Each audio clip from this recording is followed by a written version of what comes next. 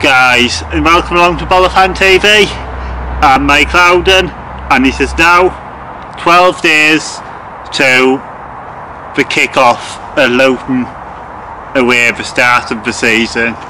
Aye, since the last video I mean of course I've been away so haven't done many videos for this channel um, but aye since then they've played is it yeah, we've played three friendlies since then.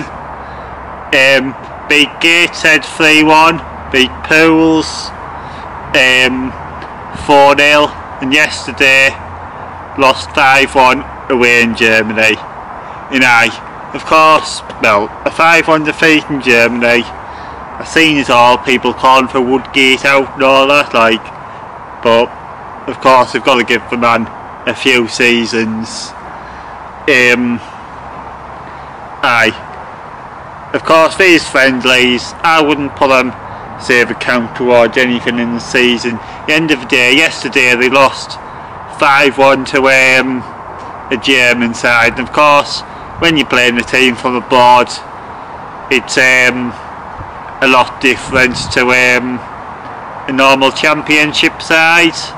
But of course, we play more different tactics over abroad and all that and of course well they beat Pools and Gateshead but can't get too carried away about that. But I last season yeah they were all kicking off before the season started because they were losing to sod easy friendlies.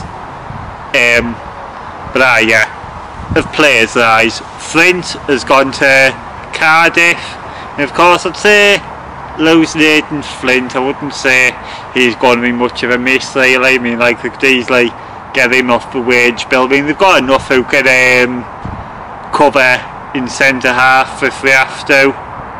Like, um, we could play shot in centre half and Mac Nail on right back. But ah, yeah, yesterday in Germany, um, Clayton hadn't started, he hadn't even gone in the squad, so does that mean he could be going? I mean, like, I think, well, Clayton, I've said it before, he's done as well, but I think he's done the buzz now, like, needs to move on. Yeah, I'd like to give McNair a chance in starting him where he's probably meant to play in centre mid. Like in Sunderland, I think he scored about six goals in a, um, a season playing in centre mid. Of course, last season, like, he wasn't good for us because he wasn't playing in his right position. I mean, unlike a Flint going, be honest, rather permanently kept Danny Batth and, had Flint. I mean, be honest, I think Batth was a big loss to us. Um, but, aye, other than us and signings, there's been the odd rumour but I haven't really followed them like all unheard of ones. I mean of course um,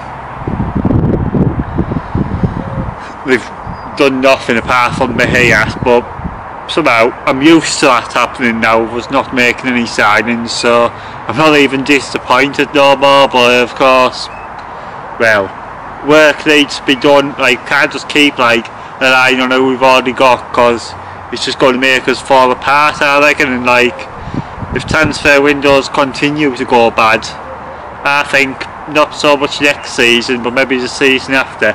I think League One's on its way to continue to go bad but I um, well it's all said alright just get someone loan and all that but well I think we just have to look at staying in the championship now like um, of course getting players on loan are just ones who aren't good enough for somewhere else is why they're going on loan.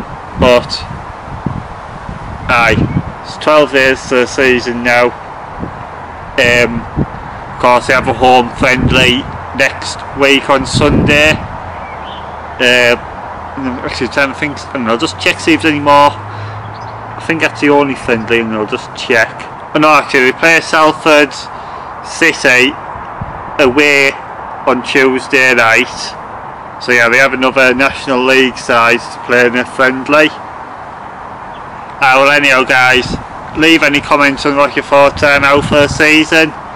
remember to like this video, subscribe to Boro Fan TV and go down and subscribe to my own channel which I'll leave the link for in the description of this video and up the Boro!